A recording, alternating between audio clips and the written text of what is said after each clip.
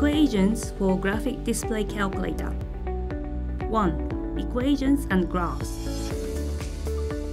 Hi everyone! In this video, we are going to show how to solve simultaneous equations using Casio FX-CG50. Switch on your calculator, pressing AC button. Press the menu button to open the main menu, then move the cursor, or press A to select the equation function. First, we will solve simultaneous equations with two unknowns. Press F1 to select simultaneous, then press F1 to select two unknowns. If the equations are not in ax plus by equals c form, then we will need to rearrange the equations. This is not the case for our example. Enter the coefficient of x, 1, in 1a, coefficient of y, minus 1 in 1b, and then the constant 2 in 1c. If a coefficient is negative, we need to make sure to use the bracket minus and not the subtraction minus. Repeat the same process for the second equation.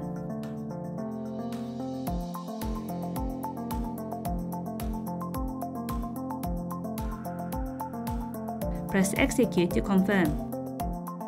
Press F1 to solve the equations. The answer is 1 for x and minus 1 for y. Next, we are to solve the same simultaneous equations graphically.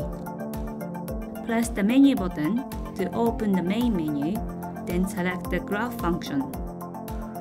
In the equation function, our equations had to be in the form ax plus by equals c. However, with the graphical solutions, the gradient intercept form will be used.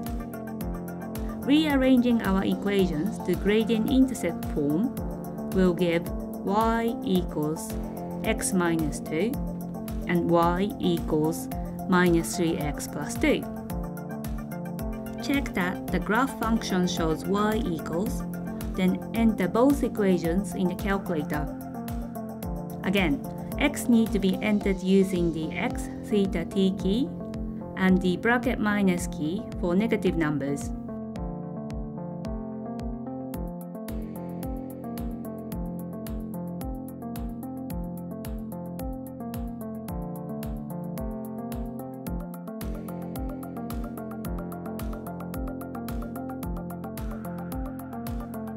Press F6 to draw the graphs.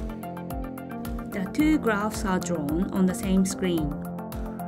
The intersection of the graphs is the answer for this question.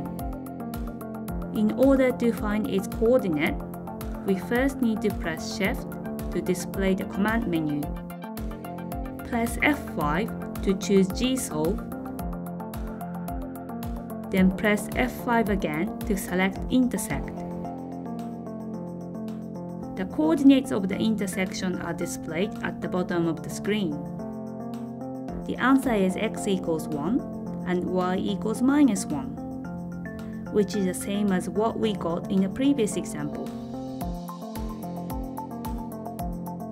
In this video, we have shown how to solve simultaneous equations, graphic display calculator as easy as pie.